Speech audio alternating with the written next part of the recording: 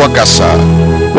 Bienvenidos a un programa Regreso a casa. Me llamo Marcos Groday, soy el anfitrión de este programa en el cual tengo el gran privilegio de presentarles a personas quienes por su gran amor por Jesucristo han regresado a casa a la Iglesia Católica. O en algunos casos habían sido parte de la iglesia y se alejaron y regresaron una vez que volvieron a descubrir la belleza de esta iglesia. Estamos aquí hablando desde la capilla universitaria del Seminario de San Patricio en Maynooth, Irlanda. Y el día de hoy, nuestro invitado es el doctor Gerard Casey, quien es director de la Facultad de Filosofía de la Universidad de Dublín. Del Colegio Universitario. Del Colegio Universitario de Dublín en Irlanda. Doctor Casey, es un gusto tenerle en el programa. Es un gusto estar aquí. He tenido el privilegio de llevar a cabo un número de entrevistas aquí en Irlanda. Estoy ansioso de escucharle porque sé que usted y yo compartimos varias cosas como católicos, como el compromiso con el movimiento pro vida. Pero antes de comenzar el diálogo, me gustaría invitarle a que nos dé un pequeño resumen sobre el comienzo de su recorrido espiritual. Bien, soy resultado de los años 50. Nací en 1951, me crié en Irlanda en los años 50. Todavía vivíamos bajo el racionamiento después de la guerra. Esto no es una novela triste a propósito. No estábamos tan mal.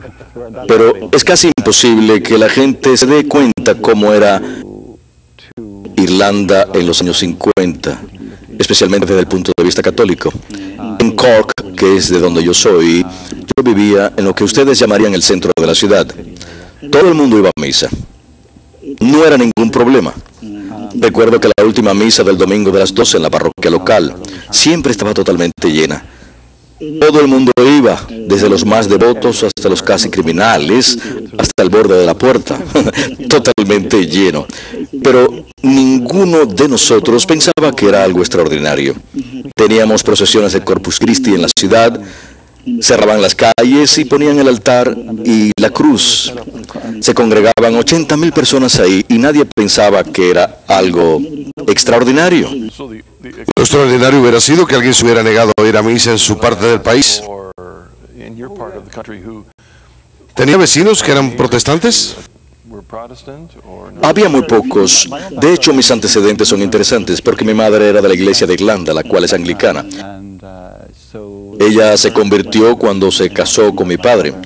Así que mis antecedentes son mixtos.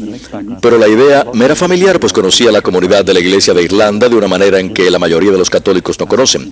Pero también fue el caso, recuerdo que durante la cuaresma teníamos las misiones, lo cual era dramatizado en cierta manera. Pero no era nada extraordinario. Durante la semana de cuaresma, para los hombres y los jóvenes mayores de 13 años, cerraban las cantinas y cerraban los cines. Y no era porque hubiera alguna ley o por algún motivo legal, simplemente nadie habría ido. Simplemente era así. Los bailes y celebraciones públicas simplemente no ocurrían durante la semana de cuaresma, solamente los domingos. Y esto era la norma. Ahora lo mismo en retrospectiva y me doy cuenta cuán extraordinario era.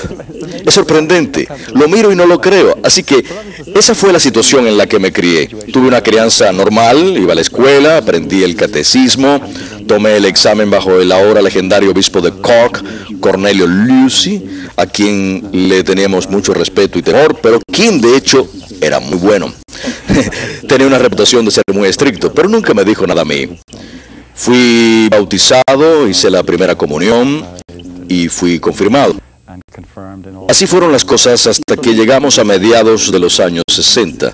Los años 60 fueron como una catarata. Quiero regresar a hacer un par de preguntas. Cuando miro en retrospectiva y reflexiono sobre esa época, en nuestras discusiones con algunos de nuestros invitados y también algunas de mis lecturas sobre Irlanda, escuchemos acerca de esta cultura. Era como el aire.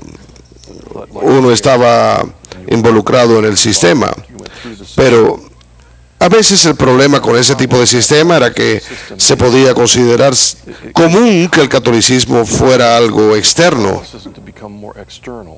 Claro que sí. En lugar de interno. Es bastante común. La imagen que estoy pintando es casi como de película de nostalgia en donde el sol siempre brillaba y el tiempo siempre era bonito y nunca llovía. Pero era muy obvio por lo que sucedió después que había algo que estaba mal. Porque tuvimos una experiencia como de colapso, una especie de colapso interior. Demuestra que, aunque no lo sabíamos en aquel entonces, existían problemas bastante serios. Había mucha externalización, había mucha gente que era lo que hoy en día llamamos católicos culturales, que simplemente se estaban conformando.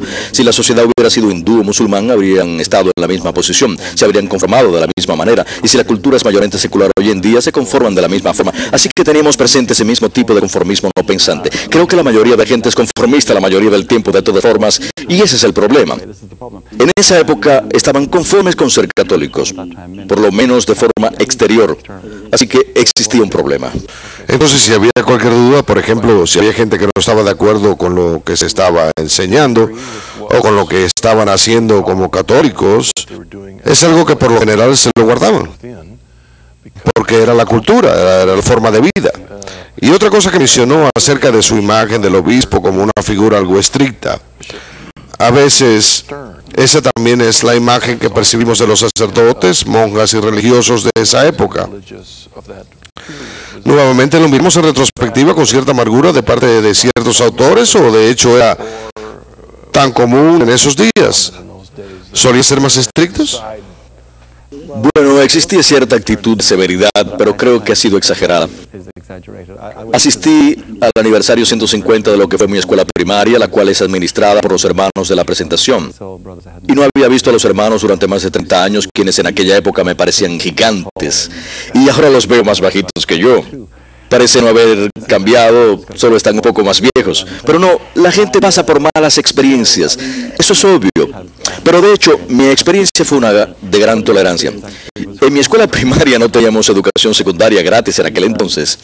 Y mi familia no era acomodada de ninguna manera. No tenían dinero para mandarnos a la escuela secundaria. Así que si yo hubiera terminado con mi educación a los 12 o 13 años, ellos lo habrían aceptado. Pero los hermanos decidieron eh, que había algunas becas disponibles a través de la ciudad y el condado de Cork. En aquel entonces la población era alrededor de un cuarto de millón, así que se pueden imaginar el número de muchachos que habíamos. Y había 12 becas disponibles. Caray. Así que decidieron que íbamos a recibir becas. No les preguntaron a nuestros padres, tampoco fuimos consultados. Simplemente nos informaron que íbamos a competir por las becas y teníamos que ir los sábados por la mañana. Nuevamente no sabíamos cuán agradecidos deberíamos estar. Esencialmente cualquiera que mostrara inteligencia superior a un mosquito era puesto en la clase para competir para las becas. Se fue reduciendo poco a poco. ¿Sabes cuántas becas ganamos en mi clase en una sola escuela de 12? Siete. Y creo que yo fui el último, raspando. Así que una de las cosas, nuevamente hablando del aniversario 150, lo he dicho antes, pero quiero volver a agradecerles a los hermanos. Ellos se entregaron su tiempo, no les pagaron nada adicional. Ciertamente no recibieron nuestra apreciación y nuestra gratitud en aquel entonces, pero su compromiso es hacer lo mejor posible para los muchachos bajo su cuidado. Ahora es muy notable si uno piensa al respecto. El espectro de habilidades de los muchachos en la escuela variaba ampliamente. Y si uno no tenía bastante materia gris, les bastaba que uno saliera sabiendo leer y escribir y realizar aritmética simple. Insistían en que todos por lo menos aprendieran esas habilidades. Es mejor que hoy en día, cuando en algunos casos tratan de enseñar todo menos eso. Así es, es extraordinario. Pero ellos insistían en que si uno tenía la habilidad y uno no tenía la inclinación a usarla, ellos trataban de convencerlo a uno, como fue el caso conmigo. Así que ellos insistieron. Y fue una suerte para mí porque si no, no hubiera tenido una carrera académica, así que muchas gracias a los padres de la presentación. Pero mi propia experiencia, estuve pintando una imagen de los años dados, pero mi propia experiencia creo que encapsula hasta cierto punto mucho de lo que estaba mal, porque cuando llegué a la edad de 15 o 16 años descubrí la filosofía cuando tenía 16 años. El primer libro que leí fue el libro de Bertrand Russell, ¿Por qué no soy cristiano? Y tuvo un efecto tremendo sobre mí. Fue asombroso. Fue como si hubiera abierto una ventana hacia un mundo del cual yo no sabía nada. Me mostró personas que pensaban cosas que yo nunca antes había visto. Sacó a la luz ciertas preguntas. Y lo verdaderamente asombroso fue que no podía encontrar respuestas que me satisfacieran. Yo tenía una mente inquisitiva, como muchos la tienen. Hice preguntas y las respuestas que obtenía por lo general eran algo así como no hagas preguntas, simplemente haz lo que te dicen, y eso no era satisfactorio. Y después de alrededor de seis meses o un año de preguntar y leer, decidí que todo esto del catolicismo era pamplinas. No tenía base. Intelectualmente no tenía defensa, así que renuncié a ello. A propósito, renuncié al catolicismo en un momento en el cual, como dice el dicho, no era popular ni lucrativo, y me volví un conformista. Rehusaba ir a misa, rehusaba fingir que iba a misa. No me volví activista tampoco. No cargaba letreros ni nada por el estilo, sino que simplemente no lo hacía y causó una división enorme. ¿Se refiere a su familia? Sí, dentro de mi familia. Absolutamente me rehusé al hacerlo. Cuando ellos iban de visita a las casas de personas, yo simplemente rehusaba a ir. Les decía que no tenía intención de ir, les decía que no creía en esas cosas, que sería hipócrita de mi parte. No armaba ningún tipo de escándalo, pero no quería ir. La experiencia que tuve fue que cuando yo decidí ponerme a empujar lo que parecía ser una fortaleza inexpugnable, me pareció que así era. Ahora también había un elemento personal ahí. No voy a entrar en todos los detalles, pero dejando eso de lado, tenía preguntas intelectuales genuinas y simplemente no estaba obteniendo respuesta. Pero es interesante, encaja teniendo en cuenta la cultura que describió. Todo el mundo lo hacía, así tuvieran un verdadero entendimiento interno de lo que estaba haciendo o no. Así que cuando usted empezó a cuestionarlo, la gente le decía, no, no lo cuestiones, simplemente hazlo. Pero nuevamente la diferencia fue la escuela. Cuando asistí a la escuela secundaria cambiaron el programa. Cuando estuve en el primer y segundo año de la escuela secundaria, cuando tenía 13 o 14 años, estábamos estudiando la apología de Shiham. Era algo estándar, pero luego decidieron modernizarse y ponerse a la moda. Fue por la misma época, en los años 60. Así es, era la corriente. Esto fue lo que sucedió. Éramos algo rebeldes, como era de esperar. Tengo que enfatizar que era una muy buena escuela, pero la clase de religión duraba media hora al día. Era de 10 y media a 11 de la mañana, y después teníamos acceso de 11 a 11 y cuarto. Íbamos al comedor a comer un buñuelo y tomar cocoa. Y cierto día decidimos, después de clase, privarnos de la clase de religión. Simplemente salimos y nos fuimos al comedor esperando ser reprendidos. Y esto fue lo que pasó. Nadie vino a buscarnos. Ahora, ¿qué quería decir eso? Creíamos que todo eso era pamplins. Pero ahora nos estaban confirmando que a quienes nos enseñaban tampoco les importaba mucho. Hubiera sucedido lo mismo si hubiera sido la clase de matemáticas o la clase de latín. Nos habrían buscado inmediatamente. Pero nadie vino a buscarnos. Interesante. Así que esa fue mi experiencia a esa edad y eso más o menos lo confirmó. Porque los profesores mismos estaban teniendo dudas. No quiero culparlos a ellos, no quiero impartir un veredicto moral. Yo sé cuán difícil era, incluso para aquellos que eran creyentes, especialmente con un grupo de malcriados como nosotros. Lidiar con nosotros era difícil, te lo puedo asegurar. Puede que simplemente no hayan tenido ganas de discutir con nosotros y simplemente se rindieron de manera tranquila. Pero eso me impactó mucho. Así que eso confirmó para mí que se trataba de un tigre de papel y de que no había nada detrás de ello. Y eso más o menos continuó. Entonces se concentró en la filosofía. Me concentré en la filosofía, así que leí mucho sobre la filosofía a partir de entonces hasta la edad de 20 años. Una vez que salí de la escuela no fui a la universidad, odiaba los estudios, lo consideraba un encarcelamiento involuntario. Estaba interesado en preguntar acerca de la naturaleza de las cosas y el significado de las cosas, y ellos nada más querían que aprendiera lo que ellos enseñaban, así que no me interesaba, con excepción de literatura inglesa en la cual teníamos profesor muy bueno. Aparte de eso no me interesaba, así que no tenía ninguna intención de volverme a encerrar. Si la educación se trataba de eso, yo no la quería, así que me dediqué a leer. Me ganaba la vida tocando música, tenía suficiente para vivir, vivía en casa y le daba la mitad a mi madre. Iba bien y me dediqué a leer y leer y leer todo tipo de literatura, literatura rusa y obras de teatro francesas, y, y lo disfruté mucho. Y después, cuando tenía alrededor de 20 años, pensé, esperen un momento. Esto no me hace feliz. De hecho, no estoy encontrando las respuestas que busco en la filosofía.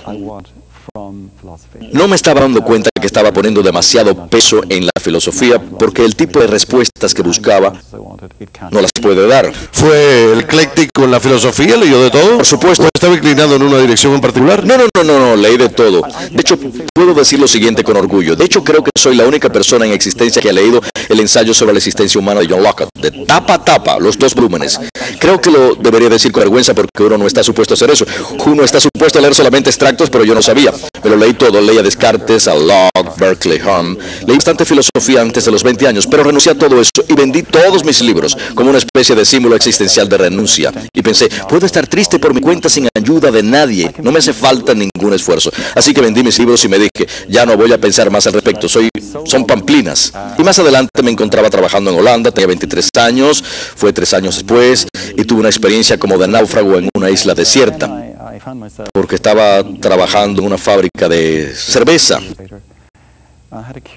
Lo irónico, y los televidentes no lo van a creer, es que yo no bebo, nunca he bebido. No lo hacía entonces y no lo hago ahora. ¿Y es irlandés? Me hacen esa pregunta todo el tiempo. Me pueden hacer una prueba. Pero solía trabajar en una fábrica de cerveza donde destilaban un tipo de cerveza Pilsener horrorosa, que incluso para mí como irlandés era terrible. Pero igual yo no bebía, así que no importaba. Me encontraba en este lugar en donde la mayor parte del día yo estaba solo. Me dedicaba a limpiar los tanques de cerveza que tenían que ser desinfectados. Es una historia que te puedo contar otro día, pero el hecho es que me encontraba solas el día entero. Y hablaba solo un poquito de holandés, pero no mucho. Lo suficiente para decir buenos días y qué hay para cenar y qué tal estuvo la película, pero no como para hablar sobre nada trascendente. Así que casi durante un año entero fue como si estuviera en una isla desierta. Lo irónico de la situación era que yo estaba rodeado de gente. Incluso en una isla desierta uno no espera estar rodeado de gente. Si uno está rodeado de gente, la expectativa es que uno socialice con ellos. Pero de hecho yo estaba solo en medio de los demás. Y todo el tipo de preguntas se hace la gente y que tal vez reprime. ¿Esto es todo? ¿La vida tiene algún significado? ¿Se trata de un día tras otro? ¿Lo que yo haga hace alguna diferencia? ¿Cuál es el significado de todo esto? Ese tipo de preguntas. Y no podía evitarlas. No tenía distracción, ni siquiera podía usar un radio a transitores porque las paredes eran demasiado gruesas y no llegaba la señal. Estaba materialmente solo conmigo mismo y sinceramente no fue algo bonito. Y pensé, esto no puede seguir así. No puedo continuar así. Y en ese tipo de situación me pareció que había solamente dos opciones. Si tus televidentes me perdonarán por decir esto, la primera era emborracharme y permanecer así, o distraerme, tomar drogas o hacer algo así, para dejar de pensar y ausentarme. La otra opción era enfrentarme a ello. Así que regresé a casa a Irlanda. Trabajé durante un año, en aquel entonces no teníamos vacaciones pagadas, ahorré dinero y fui a la universidad, porque pensé que ahí iba a encontrar gente con quien platicar. Tenía 24 años y lo hice y la pasé muy bien. De hecho, la pasé tan bien que me di un poco de vergüenza cuando me otorgaron un diploma. Me pareció que no había sufrido lo suficiente. ¿De qué se graduó? De filosofía. En filosofía. Sí, mi carrera fue la filosofía. También estudié literatura y lógica y arqueología y otras cosas. Así que saqué mi diploma y me divertí mucho. Mis instructores me sugirieron que hiciera un posgrado. Nunca se ocurrió, pero conocí a algunas personas. Había uno que era miembro del equipo académico de Notre Dame. Yo estaba muy impresionado con esa persona, con su competencia, sus conocimientos y su habilidad. Sabía acerca de todo. Era una persona muy competente. Así que postulé a varios lugares y recibí varias ofertas. Recibí una oferta de Toronto. Pude haber sacado mi posgrado en Canadá y también de la Universidad de Notre Dame, la cual acepté sin saber mucho sobre ella, excepto esta persona. A la vez ese mismo verano me casé a la misma vez que estaba tomando exámenes, así que entre examen y examen me casé, terminé mis exámenes en septiembre, no sabía cuáles habían sido los resultados, me subí a un avión y llegué a los Estados Unidos a la edad de 27 años, me impresionó mucho Nueva York, tuvimos que pasar la noche ahí, perdón, eh, continúa. Eh, me imagino que durante todo este tiempo la fe en la iglesia, todo eso seguía siendo... Ah, para mí era una cuestión muerta. Yo ya había resuelto ese tema a la edad de 16 o 17. No había nada más que encontrar allí. No había nada que tuviera valor. Como dijo William James, era una cuestión muerta. Había gente interesada en esas cosas, pero yo no. Yo ya había lidiado con esos asuntos hasta donde me importaba. Yo ya había lidiado con esos asuntos. Para mí estaban muertos y yo estaba ocupado con otras cosas. Entonces su, su matrimonio... Me casé por lo civil. Bien. En Irlanda e incluso en los años 70 eso era escandaloso. Y las familias de ambos querían que nos casáramos por la iglesia. Yo rehusé. Les dije que bajo ninguna circunstancia. ¿Tu esposa estuvo de acuerdo con eso? Sí, sí. Y te contaré el resto de esa historia más adelante. El punto es que el hecho de que hubiera ido a Notre Dame no tenía nada que ver con el hecho de que fuera una universidad católica.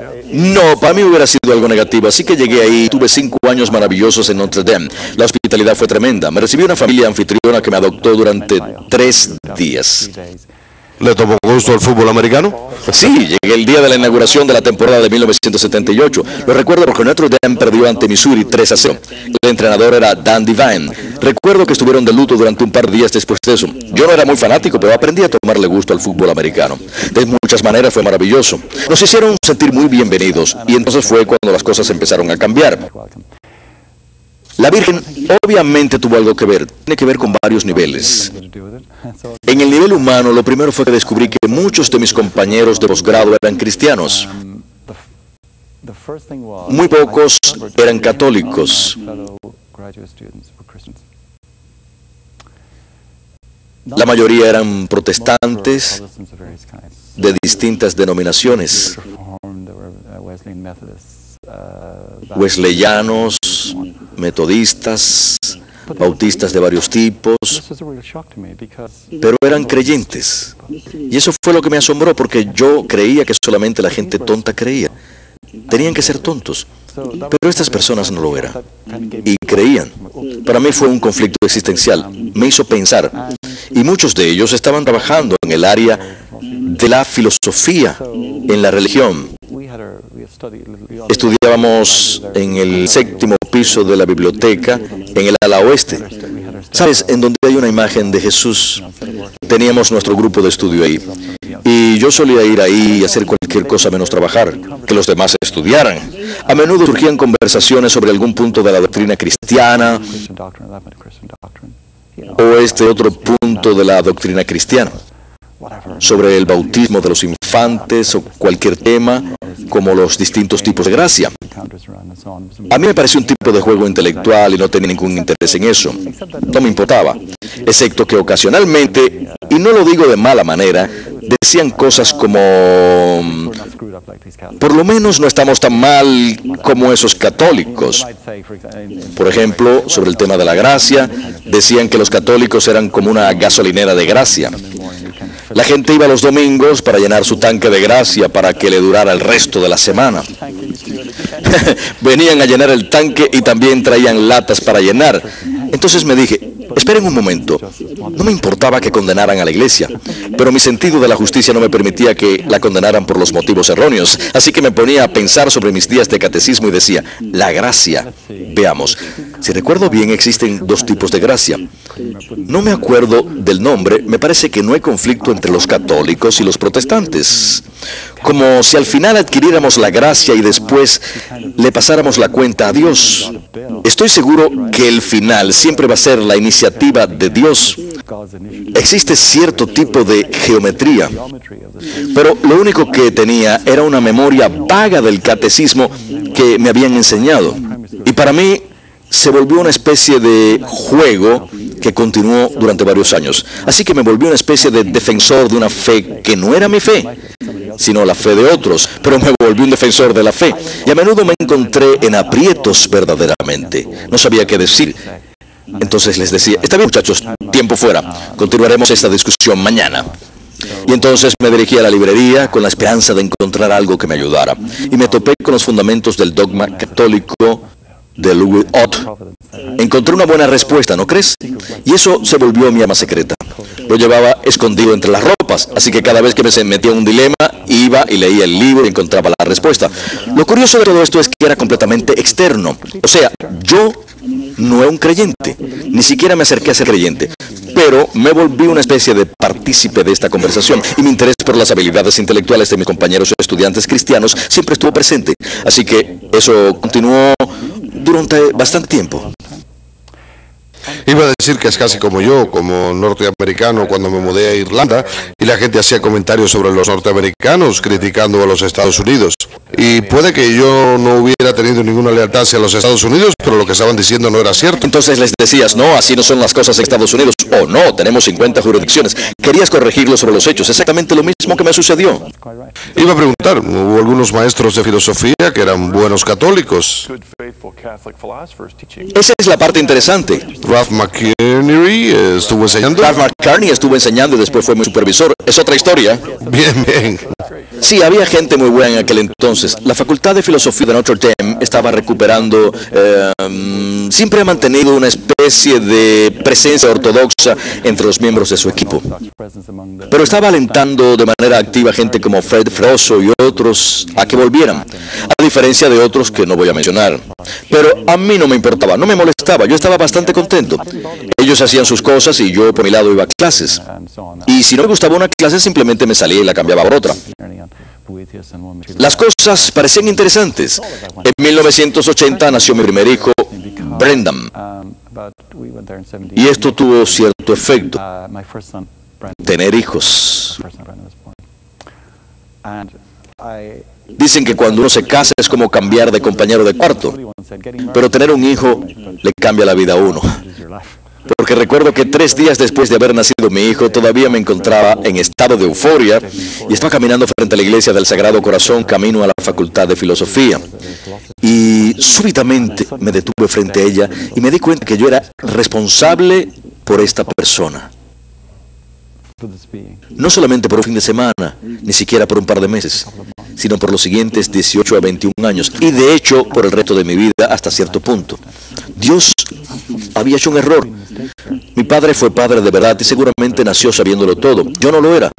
Tenían al tipo equivocado. ¿Sería posible hacer esto de nuevo? Y súbitamente la cantidad de preocupaciones que uno tiene cuando es soltero o incluso cuando está casado y sin hijos suele ser ligera.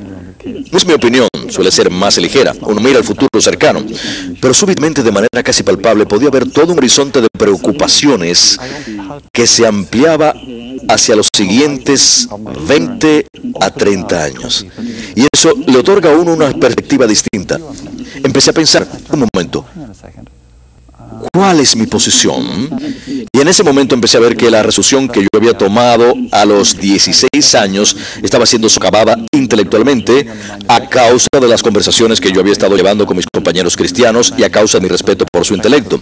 Y también había empezado a valorar de manera externa la coherencia de la fe católica. Seguía pensando que estaba equivocada. Bien, pero ya no pensaba que era odiosa de manera intelectual. Estaba debatiendo como filósofo en cierto sentido. Había sido educado con lógica a usar los datos como municiones para argumentar que una cosa contenía lógica. Y tenía lógica, pero yo pensaba que en su totalidad estaba equivocado. Pero por lo menos no era algo inventado, por lo menos todo tenía una lógica. Y curiosamente, de muchas formas, nunca en mi vida he sido otra cosa que no sea provida. Ni siquiera. No, ni siquiera cuando no era católico.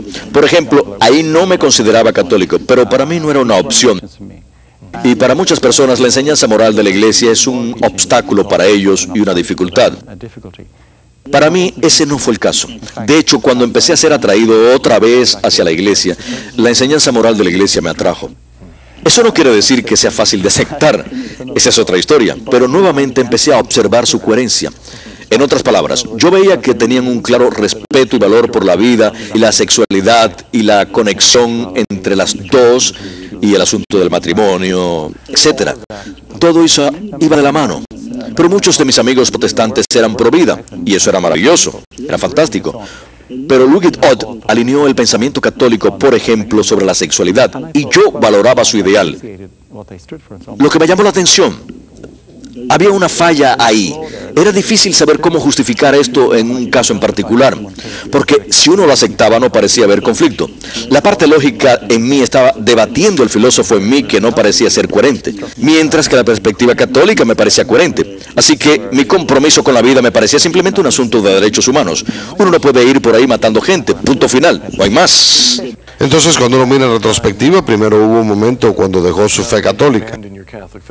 Después hubo un momento en el que dejó la filosofía, pero siguió fiel a la convicción pro vida. Claro que sí. ¿Se lo debe a las semillas que fueron plantadas en ti por esos sacerdotes y hermanas? Es difícil saber, no hice ningún tipo de reflexión explícita. Simplemente... Nunca me persuadieron, siempre me pareció que sin importar los argumentos... Vivió en Holanda durante un tiempo. Sí, y mis hijos me amenazan con mandarme de regreso allá si me pongo muy estricto con ellos para unas vacaciones de las cuales tal vez nunca regrese. Pero no, para mí eso nunca fue una opción. Simplemente no lo fue. Y no quiero que me aplaudan. Simplemente era la realidad. Matar gente no es la solución que estaba buscando. Si existen problemas hay que resolverlos, pero no lo hagamos matando gente. Y la edad me parecía irrelevante. Esa es una de las ventajas de ser filósofo. A uno no le preocupan asuntos como los de la edad. ¿Qué diferencia hay con la edad? La pregunta es, ¿con qué estamos tratando? Y si la respuesta es un ser humano, no tiene importancia si tiene cinco o seis años de edad o tan solo unos cuantos días. No hay diferencia. Porque muchas veces cuando la gente se enfrenta a lo que usted se encontró afuera de esa iglesia, digamos que ese bebé no hubiera nacido todavía y súbitamente uno se hubiera encontrado con esa realidad de tener esa responsabilidad durante los próximos 15, 20, 30, 80 años. La gente toma decisiones equivocadas. No se ven a sí mismos como padres, lo ven como una carga. Yo nunca apoyaría ese tipo de decisiones, pero puedo entenderlas, porque estos son puntos de importancia existencial en las vidas de las personas, en los cuales las cosas pueden dirigirse a un lado o hacia el otro. Cuando uno mira en retrospectiva la vida de uno y luego mira dónde se encuentra ahora, hasta cierto punto es un misterio. Uno no sabe cómo llegó aquí, pero cuando uno lo ve en retrospectiva y lo analiza, se da cuenta que hubo bifurcaciones en el camino en las cuales uno pudo ir hacia este lado o hacia el otro. Y puede que en aquel momento uno no haya estado consciente de ello, pero cuando uno lo ve en retrospectiva, uno se da cuenta que son puntos de decisión críticos en la vida. Llamados a providencia y la gracia. Exactamente desde la perspectiva católica. ¿Por qué no hacemos una pausa, doctor Case, y yo regresaremos en tan solo un momento?